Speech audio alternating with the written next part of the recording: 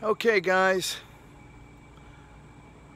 um, just wanted to give you a heads up with uh, a sunsetter that I made a fatal mistake here and I just wanted to go over it with you guys.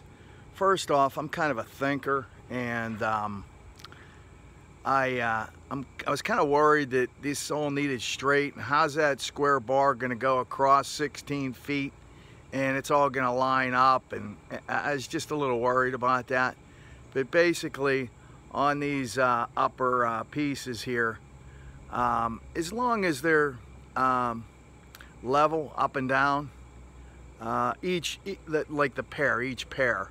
Uh, so 16 foot, I needed uh, two on each end, and I went as close as I could with the um, the measurements that they uh, they suggested but with um, the brick being where it was, so forth, I'm an inch or so off.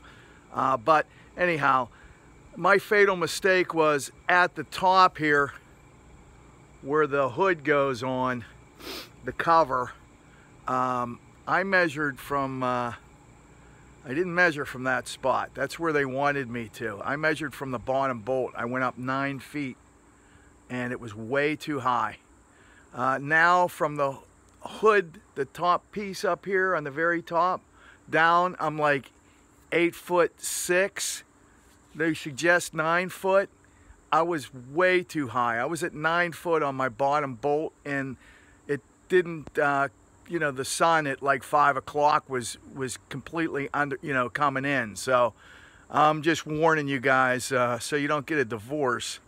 Uh, make sure that you uh, you don't go too high because I always think uh, higher is better, uh, more is more, but in this case it wasn't.